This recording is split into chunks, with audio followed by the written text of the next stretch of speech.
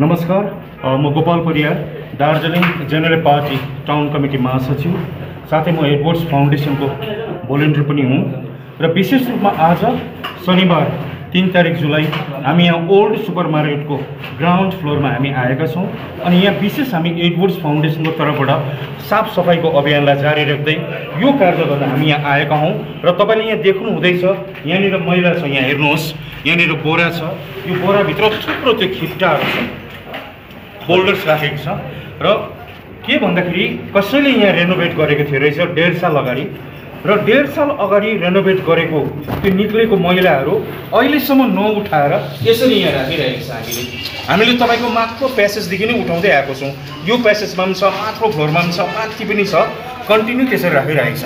र डेढ सालदेखि यो बोराहरू नउठाउनु यति ठुलो लापरवाही र यति ठुलो दुर्भाग्य र तपाईँहरू आफै विचार गर्नुहोस्। हाम्रो नगरपालिका कतिको नेग्लेक्ट रहेछ यो तपाईँहरूले अब आफै सोच्नुहोस्। र अर्को कुरो के भन्दाखेरि हुन त यहाँनिर अब कतिवटा दोकानहरू छ है पसलहरू हुनुहुन्छ है उहाँहरूको यहाँ दोकानले गर्दाखेरि रोजीरोटी चल्दैछ र उहाँहरूको पनि एउटा दायित्व थियो उहाँहरूको पनि एउटा जिम्मा थियो यसलाई साफसफाइ राख्ने तर त्यो हुन सकेन। त्यो पनि एउटा दुर्भाग्यको विषय नै भयो। र विशेष रूपमा आजसम्म हामीले जति पनि मैला उठाएको छौँ र गाडीको हिसाबले मात्रै हो भने जम्मा हामीले बाहन्न पिकअप हामीले उठाइसकेका छौँ।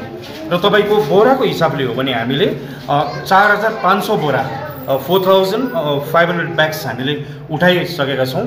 र यो कार्य हाम्रो अझै पनि जारी नै रहनेछ। र विशेष रूपमा म अब फेरि पनि तपाईँहरूलाई एउटा निवेदन गर्न चाहन्छु।